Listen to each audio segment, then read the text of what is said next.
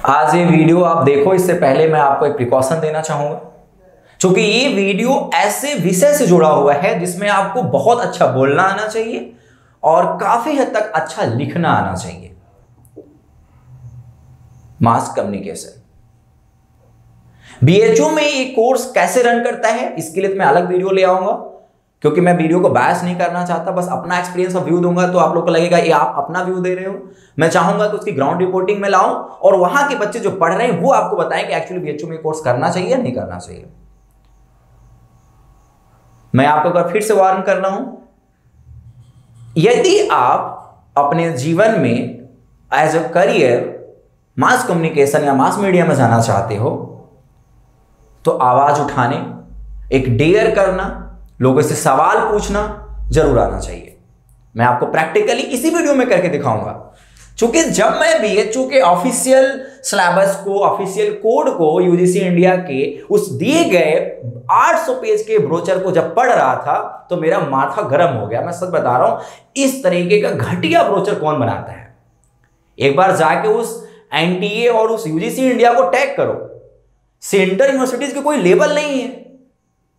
भाई, आपके पास 40 से ज़्यादा सेंट्रल यूनिवर्सिटीज हैं तो कम से कम केंद्रीय विश्वविद्यालयों का कुछ तो अपना एक रेपुटेशन है, उनकी अलग लिस्ट जारी करो। उसी में डिम्ड यूनिवर्सिटी ऐड कर रहे हो, उसी में एफिलेटेड कॉलेज ऐड कर रहे हो, उसी में प्राइवेट कॉलेजेस ऐड कर रहे हो। इट मींस कोई यूनिवर्सिटी पैसे दे के आपके पोर्टल पर रजिस्ट्रेशन कर चुका है तो क्या सबकी वैल्यू बराबर हो चुकी है, आप मुझे बता दो? ये कोई मतलब नहीं है कि कोई बच्चा अपना फॉर्म भरने से पहले इनके 800 पेज के इस ब्रोचर को पढ़ेगा। इतना लेंदी। मुझे आधे घंटे लग गए आपके इस कोड को निकालने के लिए क्योंकि ये कोड 2022 के 2023 में चेंज है। By the way UGC India क्या कर रही है? एनडीए क्या कर रहा है? इसका मैं सेपरेट वीडियो ले आऊँगा। मैं पूरे मास मीडिया के बच्चों से रिक्वेस्ट करूँगा कि आप इस वीडियो को देखें। क्योंकि मैं आपके टॉपिक से बाहर नहीं जाना चाहता तो इस टाइप का डेयर चाहिए एक्चुअली लोगों तक अवेयरनेस पहुंचाना पड़ेगा, जो कि जस्ट मैं कर रहा हूँ। तो आइए हम लोग बात करते हैं। बीएचयू से यदि आप मास कॉम करना चाहते हो तो उसका ऑफिशियल सिलेबस क्या है? उसका ऑफिशियल कोड क्या है? इस वीडियो को लास्ट तक देखो, ठीक है? आप हर कुछ समझ जाओगे। मैं उम्मीद करता हूँ कि आप लोग जहाँ से भी मास मीडिया में आओ, अपने अंदर एक डेयर रखना सवाल करने का। ठीक है? देखो, इस बार का जो कोड है दोस्तों, वो है C O Q P one one ये 2023 के जो यूजीसी इंडिया का ब्रोचर आया, उसमें मेंशन है। तो आप जब फॉर्म भरोगे तो इसी कोर्स से भरोगे, तभी आपको बीएचयू मास कॉम का कोर्स मिलेगा। ध्यान देना, क्योंकि मास कम्युनिकेशन हर यूनिवर्सिटी कराती है अप्रोक्स और वहाँ पे उनका कोड अलग है सिलेबस भी अलग है। ओके मेरे दोस्तों? तो बीएचयू में आपको ये कोर्स करना है। तो इनका जो, सबसे पहले जो इनका एक एलिजिबिलिटी है एलिजिबिलिटी को समझना है, वो है आपका 50 परसेंट इन यूजी ठीक है? आपका जो कोर्स है ठीक है ग्रेजुएट लेवल पे क्या होना चाहिए? फिफ्टी परसेंट आपका होना चाहिए। थोड़ा बोड़ा रिजर्वेशन का प्रोसेस है, लेकिन मुझे नहीं लगता है कि उसकी ज़रूरत पड़ेगी। पचास परसेंट तो लगभग लोगों का होता है। आप उस जो एक्सेप्शन है, उसके लिए जाकर उनका ऑफिशियल ब्रोचर पढ़ लेना, ठीक है? तो हम लोग देखते हैं इनका ऑफिशियल सिलेबस क्या है। ये इनका फोर्थ सेक्शन है ऑफिशियल सिलेबस का। क्योंकि अभी 2023 में इन्होंने वो जो ऑफिशियल प्रोफार्मा होता है, वो भी नहीं रिलीज़ किया। आप जाके एक बार जो इनका ऑफिशियल वेबसाइट नया वाला आया है C T N T A dot N I C dot in एक बार जाके खोल लो, वहाँ सिलेबस जो ओपन करोगे तो लिखेगा नॉट फाउंड आज चार पाँच दिन हो चुके हैं इनके आए हुए पोर्टल के। पता नहीं कौन सी संस्था चलाते हैं भाई, जब आपका स्टीम नहीं है तो घंटा आप ऐसे इतने बड़े बड़े एग्ज़ाम करा रहे हो। कोई ज़रूरत है? ज़रूरी है कि पूरे देश के बच्चों का एग्ज़ाम आप ही की एजेंसी कराएगी? अरे जब आपके, आपसे नहीं हो पा रहा है एग्ज़ाम पे बुला के स्क्रीन पे क्वेश्चन नहीं दोगे। मैं बार बार बोला ना कि मेरा, मैं आज, चूँकि इन्होंने इतना घटिया ब्रोचर दिया है कि मैं सोच रहा हूँ कि ठीक है सिलेबस पे आते हैं। चूँकि आपका जो सिलेबस है, वो फोर सेक्शन में डिवाइडेड है। ठीक है? पहला है लैंग्वेज जिसमें आपका हिंदी भी आएगा। ठीक है? ओके और यहाँ पे आपका इंग्लिश भी आएगा। ठीक है? इंग्लिश भी आएगा। ध्यान देना, आपके पास ऑप्शन होते हैं in examination hall you can choose Hindi और इंग्लिश वहाँ पे आपके पास ऑप्शन अवेलेबल होंगे। लेकिन ध्यान देना, मेरा एक इसका फॉलोअप वीडियो ज़रूर कवर करना। मैं, हो सकता है कुछ चीज़ें बदले तो मैं पाँच छह दिन, दस दिनों में दोबारा एक वीडियो ले आऊँ। अभी के लिए मैं बस आपको अवेयर कर रहा हूँ कि यहाँ पे हिंदी और इंग्लिश दोनों चीज़ें होती हैं। आप एग्जामिनेशन हॉल में ऑन टाइम आप इसको चेंज कर सकते हो। दूसरा है जनरल नॉलेज जैसे ही हम लोग जनरल नॉलेज का नाम लेते हैं, पूरा एक समंदर है भाई, इसमें कोई ऐसा नहीं है कि जनरल नॉलेज मतलब एक छोटी सी किताब या चार पेज की कोई बुक भाई जनरल नॉलेज मतलब सब कुछ। अब क्या पढ़ना है इस पे? एक बहुत ही ये विचार का विषय है। तो उसके लिए आपको मेरे वीडियोस देखने पड़ेंगे। मेरी ज़ुबान से निकला हुआ हर एक शब्द आपका सिलेबस है। एज अ जीके जी बात ध्यान देना। आपके आसपास घटित होने वाली हर एक घटना, वो जीके जीएस है। चाहे आपका वो फ़ूड डिलीवरी ऐप हो, चाहे आपका कोई भी ट्रांसपोर्ट का एप्लीकेशन हो, चाहे आपका कोई भी सीईओ के बारे में बात हो रही हो, चाहे किसी पॉलिटिशियन के बारे में बात हो रही हो एज अ स्पोर्ट्स कोई क्वेश्चन हो सकता है as a G twenty summit question हो सकता है फीफा वर्ल्ड कप आपका क्वेश्चन हो सकता है even history geography polity eco current affairs mental ability साथ ही साथ मेंटल एबिलिटी स्किप कर देना, साथ ही साथ जनरल साइंस ये सब कुछ आपका क्वेश्चन है।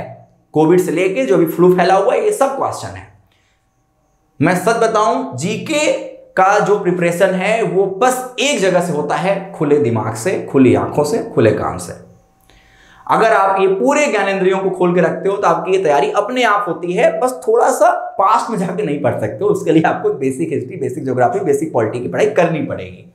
वो हम देंगे आपको। मेरे कोर्स रन करता है। आप, मैं बताऊँगा कैसे ज्वाइन करना है। कंप्यूटर बेसिक्स, यहाँ पे कंप्यूटर बेसिक्स के क्वेश्चन आपसे पूछे जाते हैं। चूँकि इसलिए क्योंकि जब आप इसमें आते हो तो इसमें कुछ ऐसे सब्जेक्ट सेक्शन है, जैसे कि एडवर्टाइजमेंट होता है मार्केटिंग होता है तो उसमें बेसिक कंप्यूटर की ज़रूरत पड़ती है। मास मीडिया ने बहुत बड़ा सिलेबस कंसिस्ट करता है। आप देखोगे कि जब इसका ब्रोचर पढ़ोगे तो कहीं के बीएचयू तो बस मास कम्युनिकेशन नाम दिया हुआ है ना, कहीं पे जाओगे तो अलग अलग है पूरा। Mass communication in media advertisement mass communication in marketing mass media in film industry mass media in radio अलग अलग सेक्शन है आईएमसी जाकर देखो। तो बेसिक कंप्यूटर पढ़ना पड़ेगा। उसके साथ लास्ट में मैंने लिखा हूँ, अगर स्क्रीन पे नहीं आ रहा हो तो मैं आपको बता दूँ, वो है आपका मैथ्स मैं बताऊँगा कौन सा मैथ ध्यान देना मैथ्स में बहुत कुछ होता है। अब प्लस रीजनिंग ठीक है? रीजनिंग मैथ्स मतलब यहाँ पे एडवांस मैथ की बात नहीं हो रही है। अर्थमेटिक मैथ्स इसमें it means what basics math like क्या? परसेंटेज रेशियो वर्क डे नल टंकी, पानी, नाव। जो बहुत बेसिक्स होते हैं, वो क्वेश्चंस ठीक है? मैं बता, ये सिलेबस पूरा मेरे यहाँ अवेलेबल है।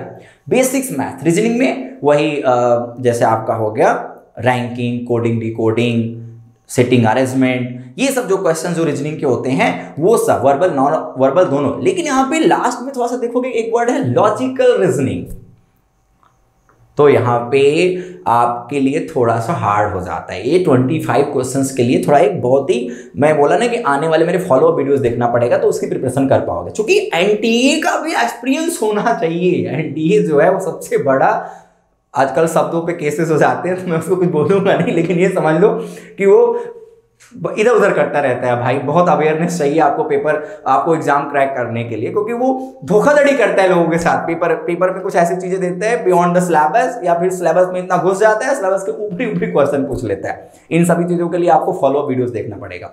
तो ओवरऑल आप ये समझ गए कि ये आपके चार सेक्शन है twenty five twenty five twenty five and twenty five पच्चीस पच्चीस पच्चीस क्वेश्चन के यहाँ पे सेट आएँगे। मे बी थर्टी थर्टी या कोई सेक्शन को इसमें ऊपर नीचे करके भी बनाया जा सकता है। मैं बोला ना इसका फॉलोअप वीडियो ले आऊँगा मैं, क्योंकि अभी इन्होंने ऑफिसली उसको कैटेगराइज नहीं किया है। सो so फाइनली अभी मैं आपको रजिस्ट्रेशन का प्रोसेस बता रहा हूँ। बी एच पाठशाला पे अगर कोर्स ज्वाइन करना है तो आप इसको कैसे ज्वाइन करोगे, ठीक है? ओके देखो यहाँ पे ये नंबर है।